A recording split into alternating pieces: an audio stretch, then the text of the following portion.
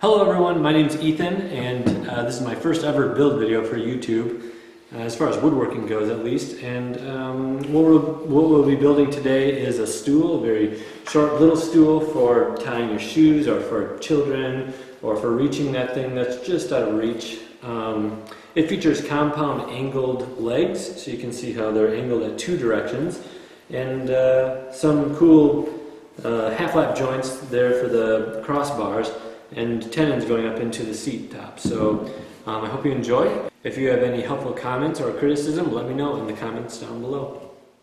So here's the plan.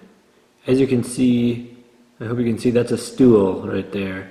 And uh, it's going to be about 12 inches tall. And I think the joints here and there are going to be half lap joints that go, sort of angled half lap joints that go into the uh, legs. So that's what I'm starting with. So I'm going to be using this old, no it's not that old, it's uh, pine that was dried outside, you can see it looks kind of rough, that was sawn from my uncle, and he gave me a bunch of it, uh, so just some nice light material that should be strong enough for a stool. One thing I forgot to mention in the intro is that this is all made using old-fashioned joinery and wood glue. There's no hardware, no nails or screws.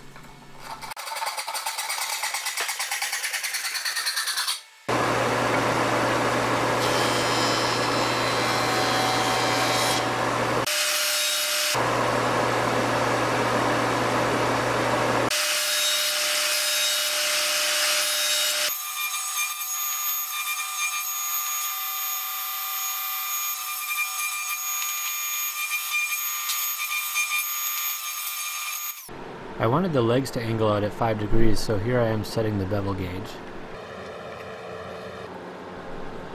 And here I am eventually using the bevel gauge to mark the shoulder lines of the compound angled tenons.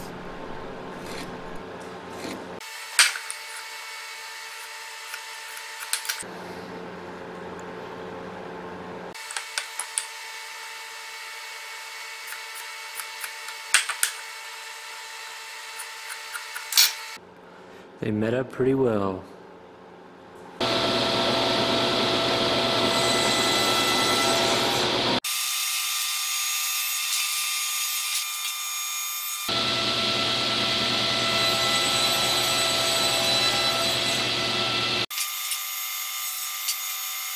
So I drew some helpers for myself to figure out which way this crazy uh, doubly angled tenon is going.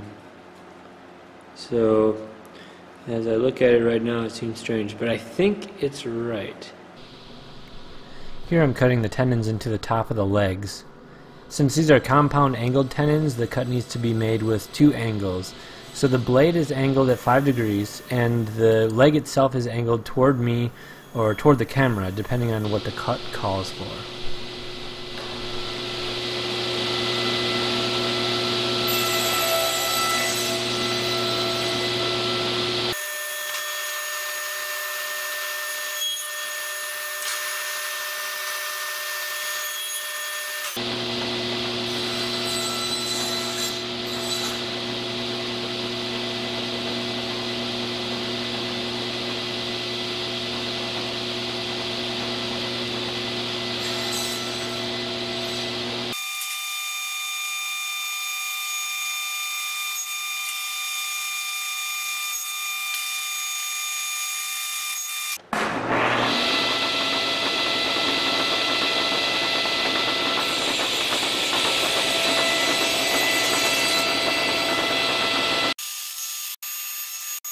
Okay, so now I have myself a little teepee, as you can see. One important detail is that the angle of the tenons is going to be perpendicular to the seat, not to the legs. So that's why these angled tenons can be a lot easier uh, when it comes to mortising, but it's a little tricky to get them cut correctly, as you can tell. So you can see my scribe line is that's my knife mark. That is the final line that I want the shoulders of this tenon to be at.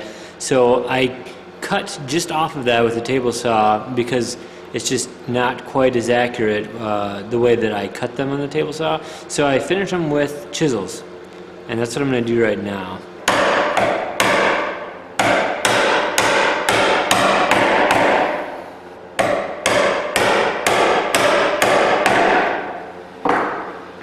And there you have it, down right to the shoulder line. So I made myself a little jig here. This kind of shows the distance between the two legs on one side and their angle. And the top of this bigger block here, it's all just kind of hot glued on there, will be where the crossbar comes in.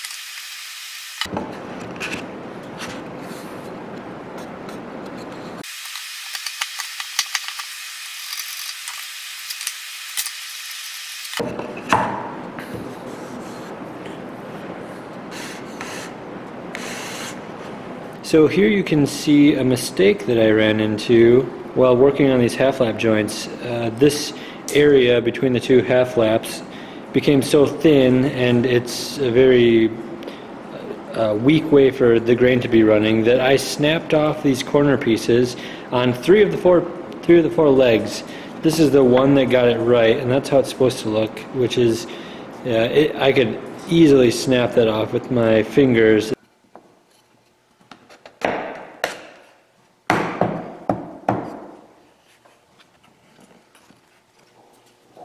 cold glue.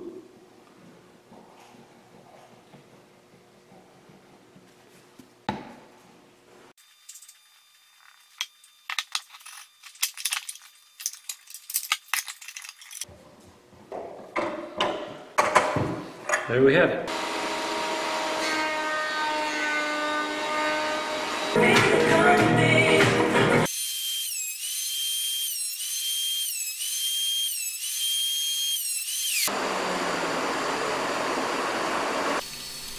Here I'm centering the legs on the bottom of the seat and I'm going to draw around each of the tenons so I know where to make the mortises and uh, draw a center mark so I can drill right in the middle.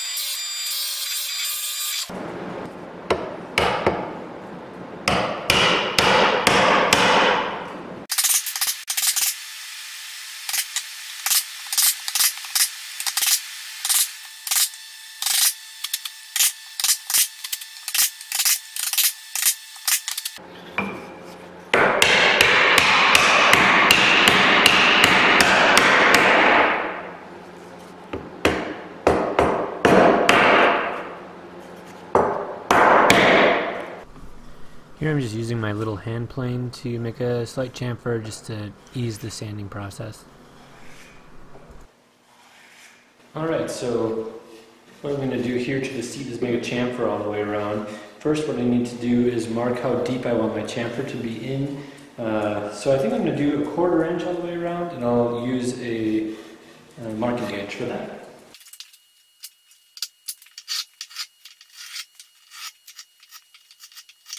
We're going to use a technique I saw from Paul Sellers.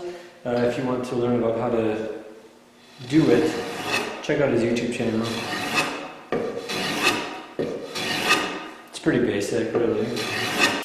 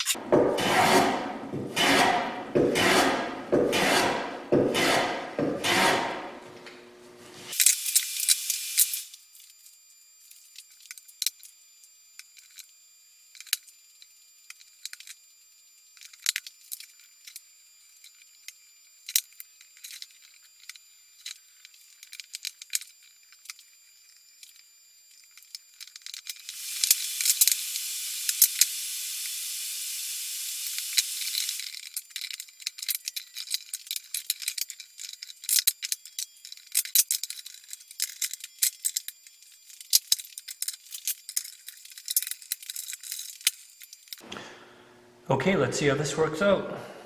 Hmm.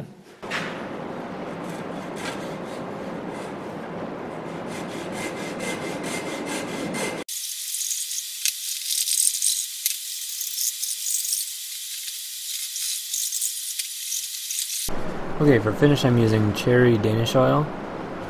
I have a plan to make that my shop theme stain. We'll see how that goes.